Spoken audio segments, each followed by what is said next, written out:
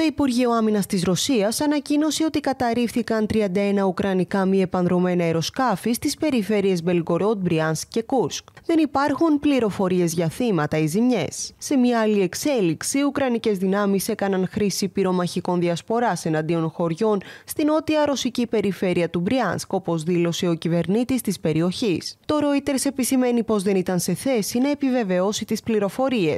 Η Ουκρανία έχει πάρει πυρομαχικά διασπορά από τις Ηνωμένες Πολιτείες και έχει δεσμευθεί να τα χρησιμοποιήσει μόνο για να αποθεί συγκεντρώσει στρατιωτών του εχθρού. Ρώσοι αξιωματούχοι στον Μπριάνσκ και άλλες περιφέρειες που συνορεύουν με την Ουκρανία έχουν κατηγορήσει επανειλημμένα το Κίεβο για βομβαρδισμού στα τυφλά από τις Ουκρανικές ένοπλες δυνάμεις. Τα πυρομαχικά διασποράς έχουν απαγορευτεί από περισσότερες από 100 χώρε.